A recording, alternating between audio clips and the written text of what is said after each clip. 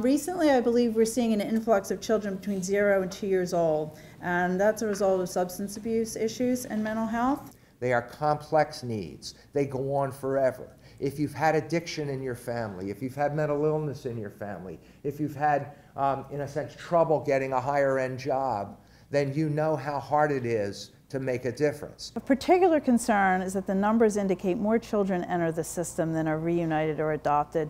These children are aging out of the system. Poverty is one of the strongest and most consistent predictors of child maltreatment. Bringing awareness to this issue is key. I think that this is one of those cases where people certainly care, but since nobody is lobbying for the kids in the system, this gets pushed way down the list of societal and legislative concerns. I want to thank all the people who work in this important field for taking time out of their day to come here and inform us what we need to work on as legislators.